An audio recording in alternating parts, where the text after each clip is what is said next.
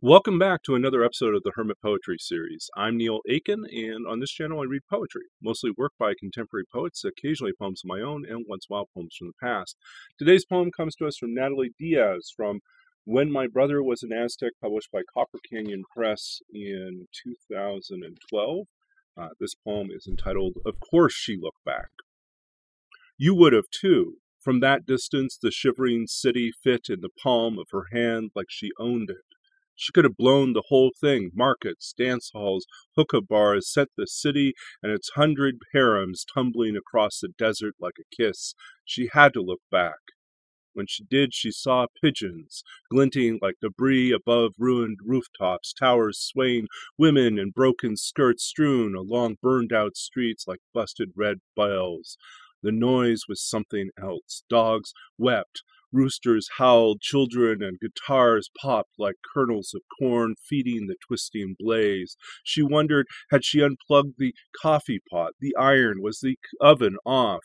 Her husband uttered, Keep going, whispered, Stay the course, or Baby, forget about it. She couldn't. Now, a bursting garden of fire, the city bloomed to flame after flame like hot fruit in a persimmon orchard. Someone thirsty asked for water, someone scared asked to pray.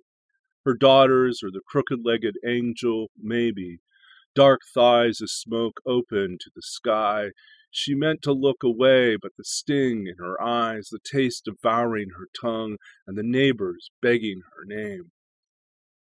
That was, of course, She Looked Back by Natalie Diaz from When My Brother Was an Aztec, Copper Canyon Press. 2012.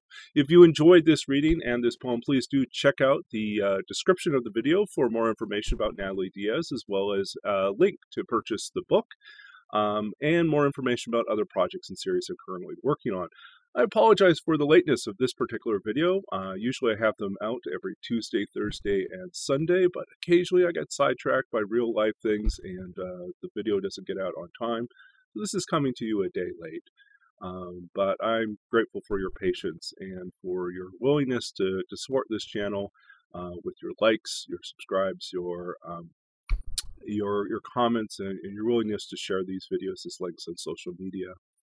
Um, I'm thankful for the ability to share these videos and to talk about contemporary poetry and to hopefully in some small way connect you to a wider assortment of voices, a, a larger uh, community of experience and uh, open up the world of poetry, bring us back in remembrance of the wonderful things that poetry can do, the ways it can startle us, inspire us, transform us, um, and humble us. I'm grateful for poetry, grateful for the power of art to do that, and wish you all the best in your own creative journeys, wherever they take you, and whatever it is that you're creating.